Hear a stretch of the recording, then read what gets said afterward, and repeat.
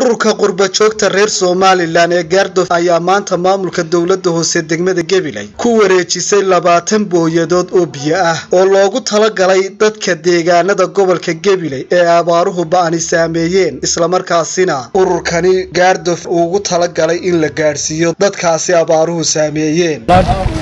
Madaxda dhaqanka mustafe mustafa. Nuuroo ka socda ururka gaardo iyo dhammaan bartishaarta goobta ku sugan dhammaantii salaamu calaykum waraxmatullahi barakaatu runtii maanta halkan waxaynu u joognaa inaynu ka guddoonno ururka gaardo labaatan booyadood oo ay ugu tala galeen inay gaadhsiiyaan meelaha runtii abaartu saamaysay deegaanka gobolka gabiley khaasatan meelaha iminka ka taagan tahay duruufta ay dadkiiba laayihiin waxay afkoodu u cabbaan. Waxaynu la wada soconnaa gobolka gabiley inuu ka mid yahay gobollada ay abaarta baaxsani ka dhacday somalilan oo runtii xaalad nololeed oo adag ay dadku ku sugan yihiin. Hadday dadka tahay iyo hadday xoolaha tahayba dadkii waxay cunaan bay u baahan yihiin xoolihii waxay cunaan bay u baahan yihiin. Labadoodiiba waxa u soo raacda haddana waxay afkuyo cabbaan. Runtii xaaladdaasi waa xaalad ilaahay uu inaga saari karo oo inaan inagu awood u lahayn. Bilaadan ahaan ilaahay baynu mar walba horraysiinana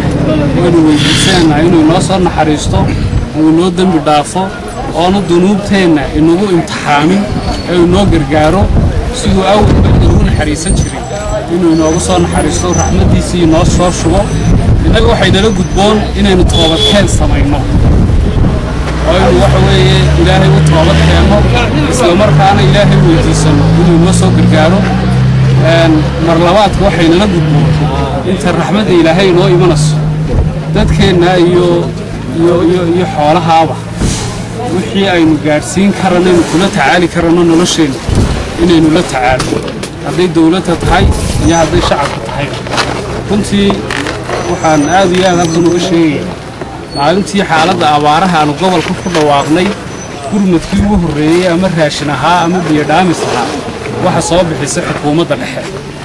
Oo madaxweynaha axmed maxamed maxamuud siilaayo uga mahad celinayno halkan aanu maalintii ka dirnay boqol booyadood oo madaxweynuhu isagoo burco jooga uu inoo soo diray.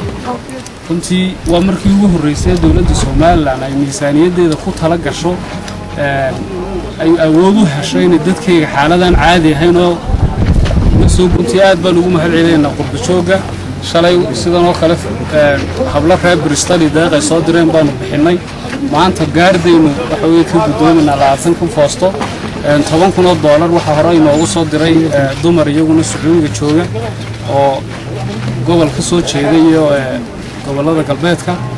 Runtii ganacsada jaamac oomaar baan mar walba isna u mahad celinaynayo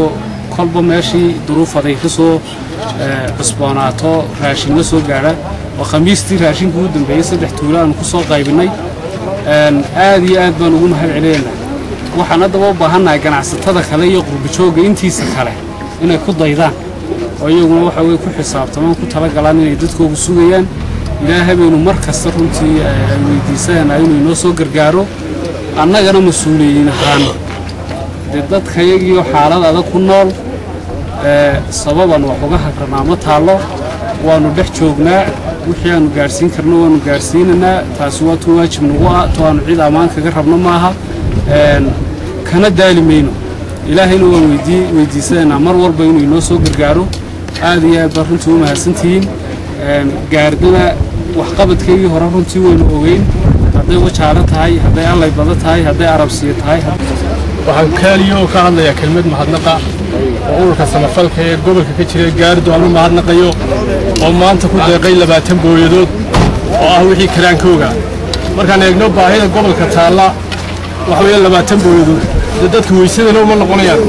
Haddana waxa weeye wixii kolba la helo ayuunbaa lagu sii howlgalaa dadka la gaadhsiinaya labaatankaa booyadood oo la gaadhsiin doono kolley sidii la qorsheeyey deegaamo hoos yimaado degmada geedbalaadh iyo degmada gabiley hadba wixii la helaa dadka loo geynayaa waxna lagama hagranayo waxaanan u soo jeedinayaa dadka maalqabeenka ee waxaysta ama ganacsatada inay dadkooga u soo naxariistaan dadka jaaliyadda sidoo kale waxa weeye hadba maanta dadku waxay ku jiraan heerkii u dambeeyey بسم الله الرحمن الرحيم اللهم صل على النبي سيدنا مولانا محمد maanta oo taariikhdu tahay sagaalkii bishii labaad sannaddii laba kun iyo lix iyo mashruuc biyo dhaamisa oo ay fulinayso gardo gardo waa urur organisation oo ka jira gobolka. Saldhigiisuna yahay u k. Markaa gardo waxaan doonaya inaan in yaroo macluumaad idin siiyo. Gardo waa urur samafala. Wuxuu aad had iyo jeer wuxuu ka qabtaa waxyaabaha horumarinta sida caafimaadka biyaha waxbarashada. Markaa maalmo dhoweyd waxaanu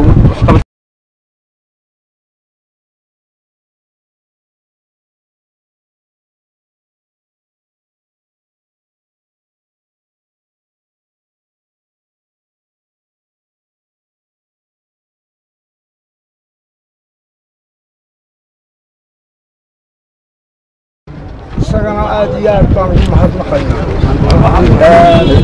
waxa kale oo aan samaynayno haddii miisaanka ugu badan alla bari baynu ka dhigaynaa ilaahay baynu wax weydiisanaynaa. Ilaahayna wuu inaga aqbali doonaa.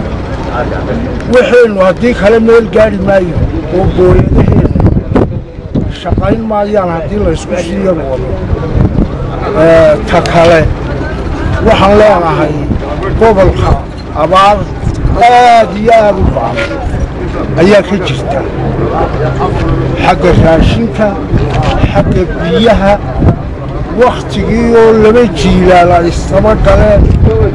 Aad iyo aad baa ayaa dadkii reemiyiga ahaa hawsii dashaadeen ayaa loo dhibaataysan yahay. Waxaan leenahay qolada qurba joogta ee dibadda ee gobolkan ka soo jeeda iyagana waxaan u sheegaynaa gobolkii in dhibaato badan oo abaareed ka jiraan waxaan leenahay wixii aad soo tari kartaan waa cabdirasaaq axmed hayaan ilka case shabakadda wararka gebina news network magaalada gabiley